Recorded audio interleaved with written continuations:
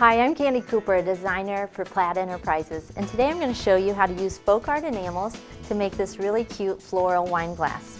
The first thing you'll want to do to your surface is clean it, and all you need to do is put a little bit of alcohol on a cotton swab and swab over wherever you want to paint, and then it's clean and ready to go.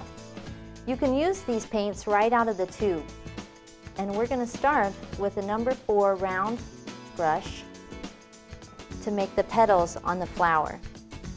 And you'll want to leave a little bit of space at the top of your glass so that the paint doesn't actually touch your lips when you are drinking from it.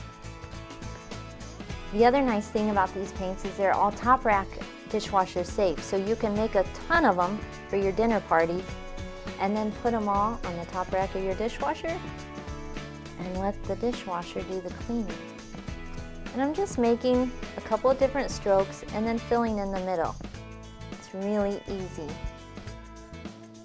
The next thing I'm going to do is add a few twirls with the number one liner. And you'll want to put a fair amount of paint on your liner and then remove just a little bit and come out from one of the petal sides and twirl around.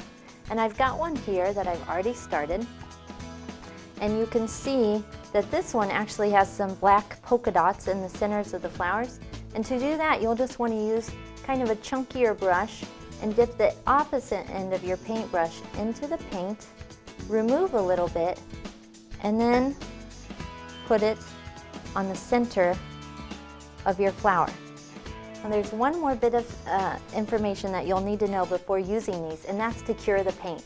And to do that, you can leave it on your shelf for 21 days, or you can put it in a cool oven, set your oven to 350 degrees, bring the oven up to temperature, let it go for 30 minutes, turn off your oven, let it cool completely before removing your object, and then wait three more days before using.